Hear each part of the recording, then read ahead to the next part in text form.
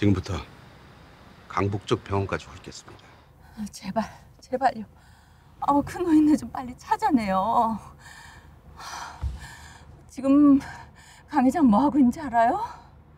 또 병이 도졌어. 또 병이 도졌다고요.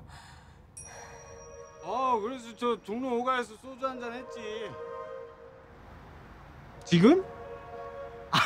아 나 지금 구두 닦고 있어 아 박부장 이 새끼 내 구두에다 토해가지고 아 이러고 죽겠네 이씨 어 얼마 먹지도 않고 그래 아나 씨. 아우 내가 아주 돌아버리겠어. 딸려는 집 나가서 협박이지. 남편이란 작전은 재벌 회장이란 사람이 길거리 구두방에서 구두나 닦고 있지.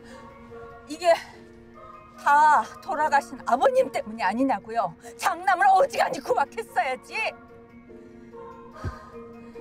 조금만 실수해도 임원들 앞에서 면박 주고 구박하고 툭하면 임원들 구두 벗겨다가 닦으라고 30년을 창피를 주었으니 저 사람이 그 세월을 어떻게 견뎌내?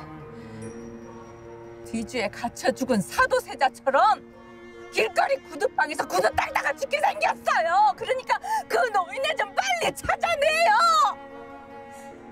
어, 강 회장이 어머니 나타나실까봐 무서워서 저러는 거 아니야.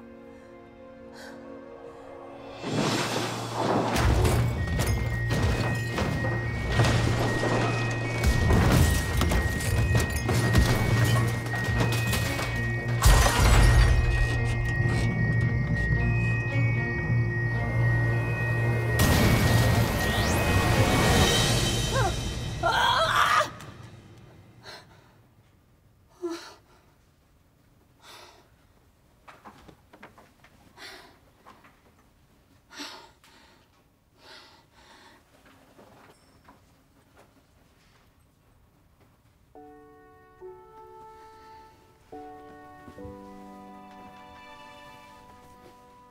you.